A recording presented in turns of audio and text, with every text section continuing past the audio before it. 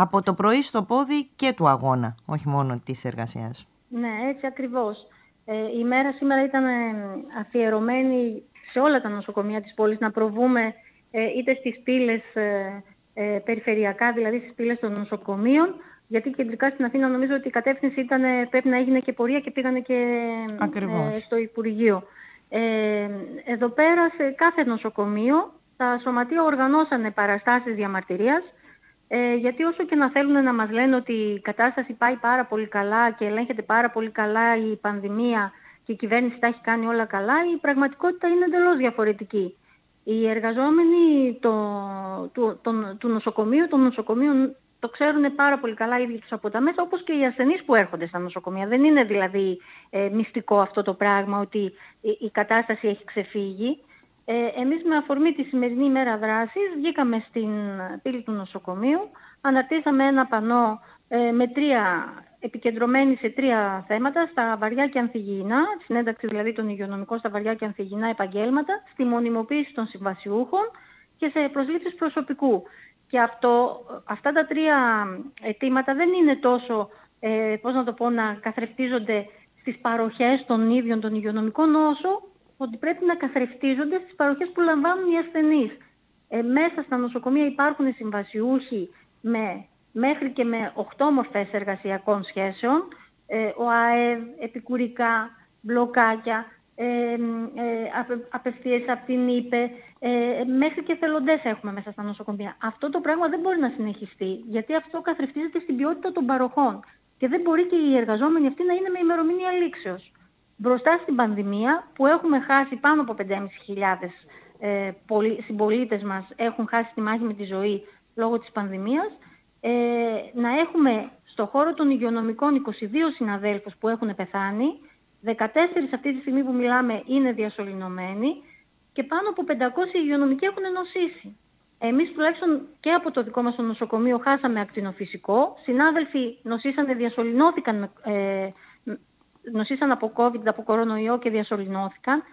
Και αυτό και μόνο δηλώνει ότι η κατάσταση είναι εκτός Και θεωρούμε ότι είναι μια ε, ευκαιρία σε εισαγωγικά να σκύψουν όσοι ε, επικαλούνται ότι νοιάζονται για την υγεία του πληθυσμού και να προχωρήσουν σε προσλήψεις, να ενισχύσουν το εθνικό σύστημα υγείας, γιατί στα δύσκολα, στην πανδημία, αυτή η κυβέρνηση, αυτή η αστική κυβέρνηση που ξέρουμε πολύ καλά ποιον εξυπηρετεί, το δημόσιο σύστημα στάθηκε, στράφηκε για να βγάλει, πώς να πω, όλη τη βρώμικη δουλειά της πανδημίας. Τον ιδιωτικό τομέα που τον ευαγγελίζονται τον αφήσανε στο απειρόβλητο. Και εμείς εδώ ερχόμαστε και λέμε ότι αν τώρα δεν δείτε ότι πεθάναν οι υγειονομικοί, νοσήσανε, ε, έχει μπλοκαριστεί όλο το εθνικό σύστημα, έχει μετατραπεί σε μία νόσου. Η, η νοσηρότητα και η συνοσηρότητα από τα χρόνια νοσήματα τρέχει ταυτόχρονα με την πανδημία και θα έχουμε το επόμενο διάστημα άλματα με τις ε, διαγνώσεις των καινούριων περιστατικών που θα νοσούν.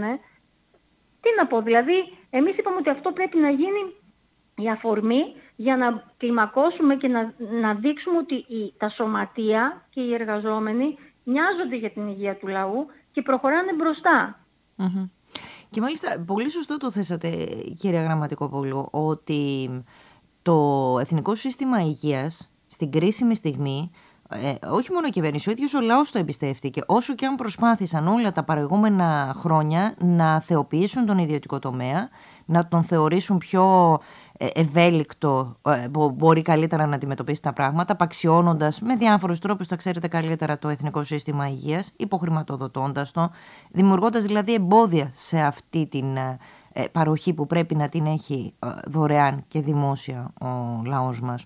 Και αυτό το κρίσιμο ακριβώς κομμάτι συνεχίζουν να το αποξιώνουν και μέχρι και σήμερα. Ναι, έτσι ακριβώς.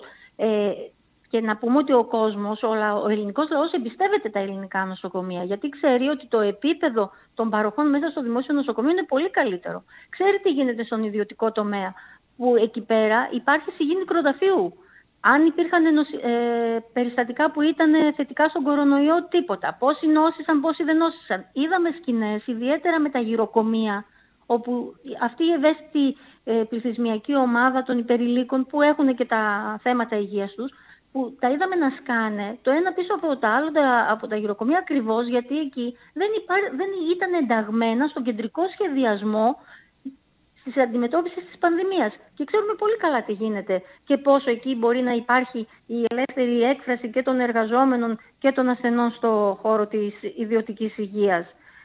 Είναι τα πράγματα, πώς να το πω, ε, ηλίου να σας πω ότι και αυτό δηλαδή το χαρακτηριστικό ότι βγήκανε, ε, βγήκε ο Χρυσοχοίδης και είπε ε, παραμονές ας πούμε οργάνωσης των κινητοποιήσεων ότι δεν ε, θα κινητοποιούνται πάνω από 100 άτομα λόγω του κορονοϊού.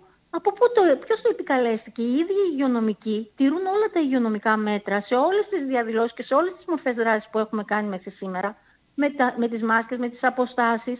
Δεν, δεν ήταν οι εργαζόμενοι αυτοί που διαδήλωσαν, που δείξανε ότι εδώ υπάρχει, ε, πώς να πω, διασπορά και έχουμε συρροή κρουσμάτων. Η συρροή κρουσμάτων είναι από τα ανεξέλεγκτα μέτρα που παίρνει η κυβέρνηση από τους μη ελέγχους ε, στους εργα... μεγάλους εργασιακούς χώρους. Εκεί που είναι και 100 και 150 και 200 εργαζόμενοι. Μπράβο και δεν ελέγχονται από Δηλαδή είναι ε, προκλητικό να έρχεται και να λέει ότι δεν θα κινητοποιηθείτε.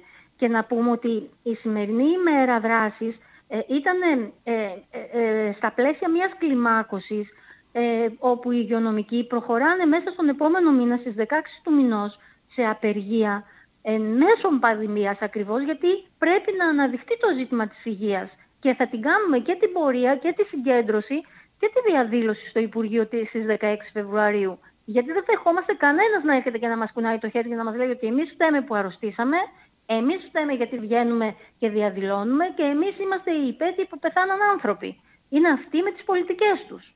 Και μιλάω για το Υπουργείο και για αυτή την κυβέρνηση και για τις προηγούμενες. Και για τις προηγούμενες. Προφανώς η απαξίωση των ε, νοσοκομείων, η υποχρηματοδότησή τους δεν έγινε τώρα, συνεχίστηκε απλά ο δρόμος όπως είχε ναι. χαραχθεί και εν μέσω πανδημίας. Λοιπόν, ναι, και να... ναι, ναι, ναι, πείτε μας. Να, να σας πω λίγο μόνο αυτό για τα βαριά και τα ανθυγιεινά, ότι αυτό είναι ένα αίτημα του κινήματος, του συνδικαλιστικού κινήματος χρόνια ολόκληρα. Οι εργαζόμενοι, ας πούμε, οι νοσηλευτές στις ιδιωτικές κλινικές έχουν βαριά και ανθυγιεινά, ενώ οι εργαζόμενοι στο δημόσιο δεν έχουν. Τώρα με την ενοποίηση των ε, ταμείων και με το κοινό, με το Ταμείο του ΕΦΚΑ, ε, είναι ε, διαχωριστικό να λέει ότι θα, θα, βγει, θα είναι στο βαρύ και το ανθυγινό αυτός που έχει τις προηγούμενα, τα προηγούμενα χρόνια κρατήσει από το ΙΚΑ και ο άλλος που είναι στο δημόσιο ε, που κάνει ακριβώς την ίδια δουλειά δεν θα είναι ενταγμένος στα βαριά και τα ανθυγινά. Και όλα τα χρόνια η κυβερνήση η μία το περνούσε στην άλλη επικαλούμενοι διάφορες επιτροπές στο Υπουργείο Εργασίας που θα, θα, θα ερχόταν να αποφανθεί για το ποια επαγγέλματα είναι. Όταν δηλαδή οι, αυτές οι κυβερνήσεις εμπιστεύονται επιτροπές και περιμένουν τα πορίσματά τους, θα πρέπει να τα σέβονται κιόλας. ε, τελείωσε η Επιτροπή, αποφάς, αποφάνθηκε ότι ναι, οι υγειονομικοί πρέπει να ενταχθούν στα βαριά και τα αφηγηνά και έμενε να γίνει νομοθετική ρύθμιση. έρχεται τώρα η κυβέρνηση και λέει τώρα δεν μπορούμε να σας βάλουμε στα βαριά και τα αφηγηνά γιατί δημοσιονομικά δεν το αντέχει η χώρα. Και από την άλλη, πακτολός χρημάτων στις αεροπορικές εταιρείες, στους εφοπλιστές, στους κλινικάρχες. Δηλαδή, είναι ευκαιρία τώρα... Και να στις φαρμακοβιομηχανίες το... που καθυστερούν να μας φέρουν το εμβόλιο. Βέβαια. Το οποίο το πληρώσαμε για να δημιουργηθεί το τεχνογνωσία. Το προπληρώσαμε το εμβόλιο. Άλλο πανηγύρι με τα εμβόλια, δηλαδή και με τα εμβολιαστικά κέντρα. Αρχίσανε με εξαγγελίες για πάνω από χίλια εμβολιαστικά κέντρα και πετάξαν τα εμβολιαστικά κέντρα στα νοσοκομεία. Απαξιώσανε την πρωτοβάθμια την υποχρηματοδοτήσανε, την αφήσανε γυμνή από προσωπικό και τώρα σου λέει πάτε στα νοσοκομεία να εμβολιαστείτε. Με ποια καταγραφή, με ποιον οικογενειακό γιατρό, με ποια πρόληψη; Στο νοσοκομείο, η στο δικό μας το αντικαρκυνικό, η πρόληψη εδώ και ένα χρόνο σχεδόν είναι κλειστή. Γιατί οι εγκαταστάσεις χρησιμοποιούνται για να πηγαίνουν, πηγαίνουν οι ασθενείς να κάνουν τον έλεγχο για τον κορονοϊό. Δηλαδή, αν και εμείς εδώ, που με τον καρκίνο, αντιλαμβανόμαστε την ανάγκη της ύπαρξης της, πρωτο... της πρόληψης στον καρκίνο, που εκεί μπορεί και να σώσει ζωές και να γλιτώσεις χρήματα. Ε, πολύ σημαντικό κομμάτι, αναντικατάστατη η πρόληψη στον καρκίνο και το ίδιο το νοσοκομείο την κρατάει κλειστή την πρόληψη, αντιλαμβανόμαστε πώς βλέπουν την υγεία του πληθυσμού. Κατά τα άλλα δεν αναστέλλεται η λειτουργία του νοσοκομείου σας, όπως έλεγε Ναι, εμείς λέμε ότι δεν θα χαριστούμε σε κανέναν. Γιατί αυτοί μπορεί να χαϊδεύουν αυτιά και να βγαίνουν στις τηλεοράσεις και να λένε ότι όλα τα κάνουν καλά. Οι εργαζόμενοι έχουν γνώση, έχουν αντίληψη και δεν μπορεί κανένας σήμερα να κοροϊδεύει Οργανωνόμαστε και με συντονισμό και με ε, στόχο την απεργία του Φλεβάρη στις 16. Και βέβαια εδώ αξίζει να σημειώσουμε ότι η κυβέρνηση ενώ έχει περάσει σχεδόν ένα, ένας χρόνος από την ε, πανδημία, από τότε που εκδηλώθηκε η πανδημία, δεν αλλάζει η ρούπη αυτό που είπατε την πολιτική της και φαίνεται και με το νομοσχέδιο που συζητείτε τούτε στις ώρες στην ε, Βουλή, όπου ουσιαστικά κατοχυρώνονται οι συμπράξεις ιδιωτικού και δημόσιου τομέα στην υγεία. Αυτό που λέγαμε ότι ζούμε με την εμπλοκή του ιδιωτικού τομέα, θα το δούμε στα προσεχές, στο προσεχές ναι. μέλλον, φαίνεται ότι επιβεβαιώνεται και εκεί και στο νοσοκομείο σας επίσης. Με δωρεάν να γίνει η μονάδα ημερήσιας νοσηλείας. Με δωρεάν. Να, να πούμε εδώ πέρα, οι εφοπλιστές δεν δίνουν ένα ευρώ φόρο στο ελληνικό κράτος. Κάνουν τις ψευτοδωρεές τους και φοροαπαλλάσσονται για δισεκατομμύρια ευρώ. Και ερχόμαστε τώρα εμείς να είμαστε υποχρεωμένοι και σε, στον κάθε δωρητή και να στηριζόμαστε στο, στην ελεημοσύνη του καθένα για να γίνει μια δημόσια δομή που είναι υποχρέωση του ελληνικού κράτους. Γιατί ο, ο Έλληνας πολίτης από τη στιγμή που γεννιέται φορολογείται. Φορολογείται και, του, και καταβάλει εισφορές. Ε, εδώ να σας πω ότι δεν γίνεται τυχαία αυτό το πράγμα. Ότι υπάρχει απόφαση από το Διοικητικό Συμβούλιο του Νοσοκομείου για να λειτουργήσουν απογευματινά χειρουργία που ξέρουμε πολύ καλά ότι η απογευματινή ολοήμερη λειτουργία του νοσοκομείου είναι ένα ξεχωριστό κομμάτι ε, ιδιωτικοποιημένης λειτουργίας του νοσοκομείου. Δηλαδή δεν γίνονται δωρεάν εκεί πέρα οι παρεμβάσεις. Όπως έρχονται και πληρώνουν στα απογευματινά ιατρία και βλέπουν τους γιατρούς τους οι ασθενείς που δεν μπορούν να εξυπηρετηθούν το πρωί γιατί είναι πάρα πολύ μεγάλος ο όγκος και αυτό γίνεται σε όλα τα νοσοκομεία της, ε, του εθνικού συστήματος. Στο δικό μας να σας πω ότι έχει πάρθει απόφαση να λειτουργήσουν απογευματινά χειρουργία και απογευματινές χημειοθεραπείες στα πλαίσια του ολοήμερου νοσοκομείου.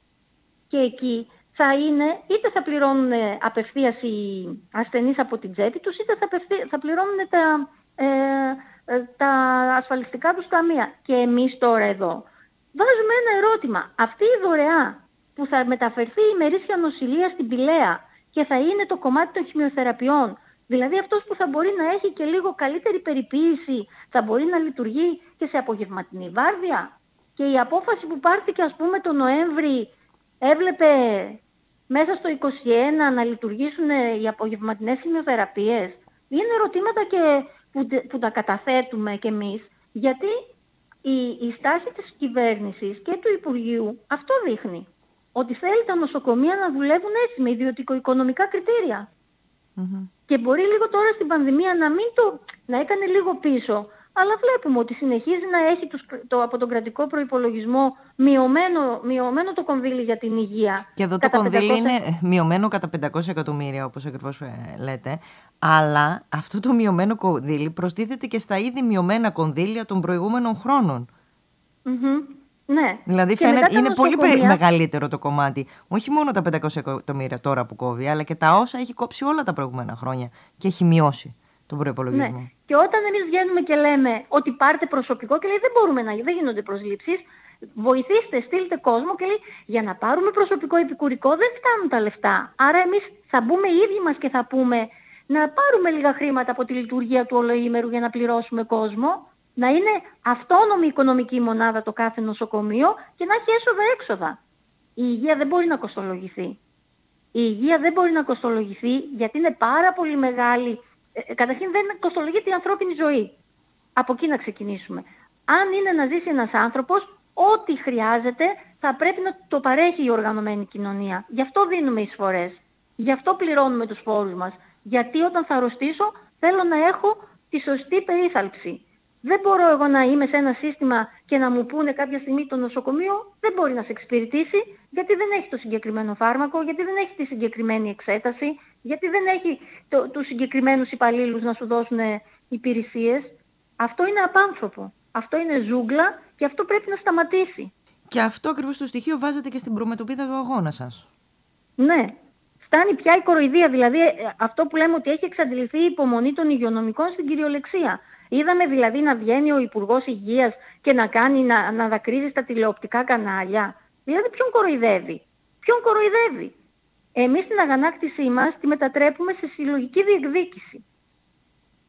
Και έτσι προχωράμε οργανωμένα και νομίζω ότι θα είμαστε, είμαστε αισιόδοξοι γιατί είναι ευκαιρία να συντονιστούμε και με άλλους ε, φορείς και με άλλους ε, εργαζόμενους από άλλους χώρους, με όλο τον ελληνικό λαό, γιατί η υγεία δεν αφορά στενά και μόνο τους υγειονομικούς, αφορά όλους τους πολίτες. Είτε σαν ε, εργαζόμενους στο χώρο, είτε σαν χρήστες των υπηρεσιών υγείας. Κύριε Γραμματικοπούλου, να ευχαριστήσουμε πολύ. Καλή συνέχεια στους αγώνες σας. Ευχαριστώ πολύ. Γεια σας.